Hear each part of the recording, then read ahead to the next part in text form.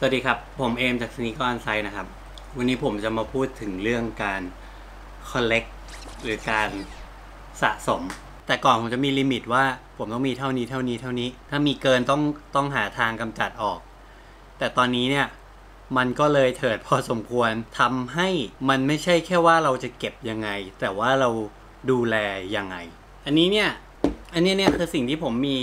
ในการดูแลขั้นที่หนึ่งคือเรื่องความสะอาด ผมก็จะมีพวกนี้ติดไว้อยู่ตลอดเวลา เพื่อให้รองเท้ามันอยู่กับเราได้นาน เท่าที่มันจะอยู่ได้ อีกอันนึงเนี่ยที่มันเป็นสิ่งที่ผมเชื่อ มาตลอดก็คือ การเอารองเท้าไว้ข้างนอก ผมชอบวางไว้ข้างนอก เพราะว่าปัจจัยเดียวเลยคือรองเท้าเนี่ยถ้าไม่ใส่มันจะพัง แล้วถ้าเราเอาไว้ในกล่องเนี่ย ผมจะนึกภาพไม่ออก มันจะไปเข้ากับชุดในวันนี้ยังไงดี ก็เลยเป็นสภาพนี้ครับ บางวันเราจะถ่ายรูปรองเท้าทำบทความหนึ่งเนี้ย มันต้องใช้รองเท้าหลายคู่ แล้วหลาย ๆ ครั้งเนี่ย ผมทำงานประจำเสร็จกลับมาบ้าน แล้วก็จะทำเพจเนี่ย มันก็หมดแรงแล้ว แล้วมันก็เลยเป็นดินพ่อหาหมูไงครับ แต่ว่าวันเนี้ยตัวกล่องใสๆเนี่ยมันเต็มแล้ว ผมก็เลยไปซื้อมาใหม่ แล้ววันนี้วันอาทิตย์เก็บบ้านเลยแล้วกันครับ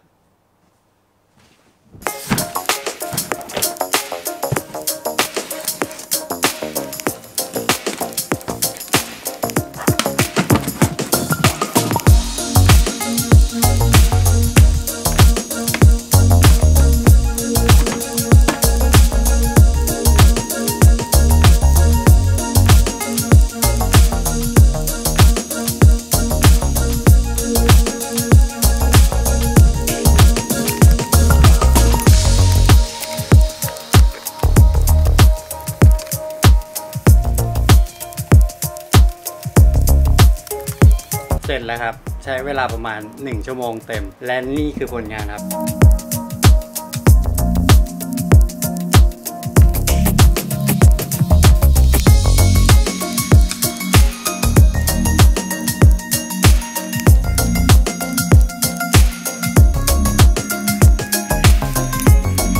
ของผมมาประมาณนี้ เดี๋ยวเราน่าจะต้องอยู่กันอีกนาน แต่ว่าเดี๋ยวผมจะออกไปเจอ พี่คนหนึ่งแล้วก็เขาพาเพื่อนมาด้วย ซึ่งมีความเป็น collector เหมือนจะไปดูกันครับ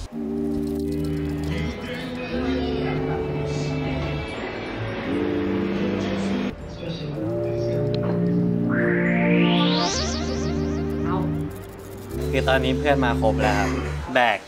อะไรมาด้วยอ่าหันกล้องไปทางนู้นแล้วจะไม่เห็นผมแล้ว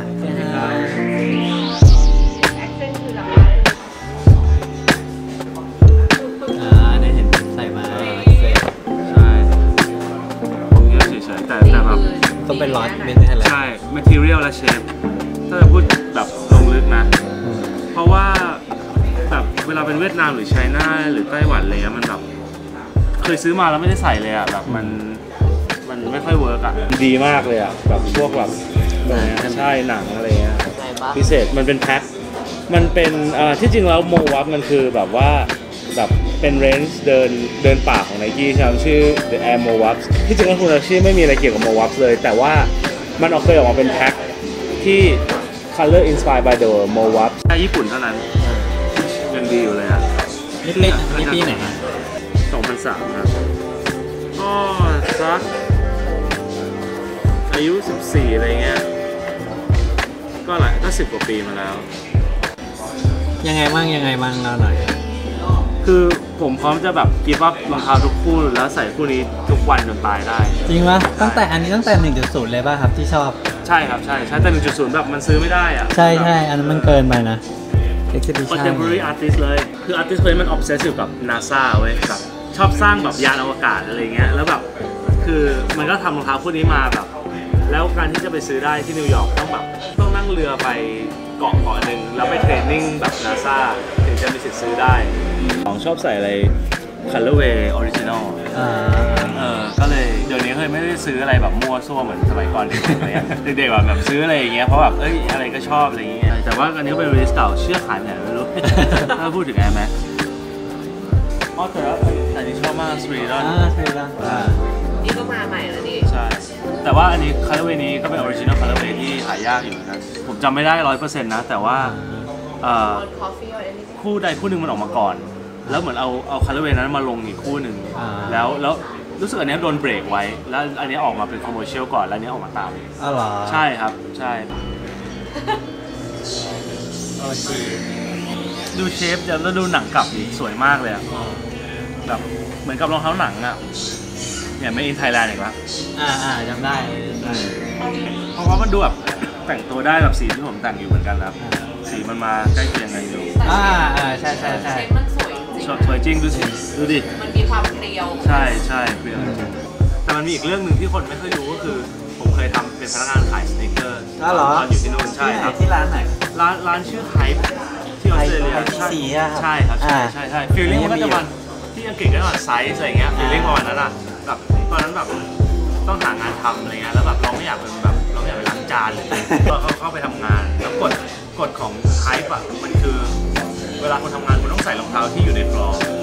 อ่าไปอยู่บน shelf ที่อยู่ใน shelfลฟ์เพราะฉะนั้นแบบก็ซื้อรองเท้าแบบเดือนละแบบสองสามคู่อะไรเงี้ยแล้วแบบแต่นี่คือไม่ได้เอามาทั้งหมดนะแต่แบบ ซื้อแบบแวร์ซื้ออะไรเงี้ยพวกไปดูเรื่อยใช่ใช่ใช่อ๋อ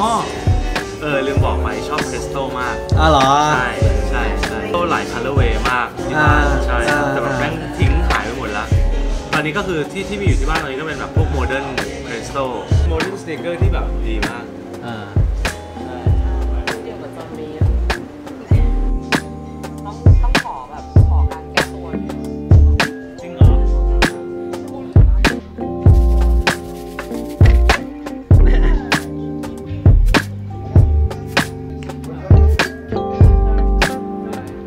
นะครับ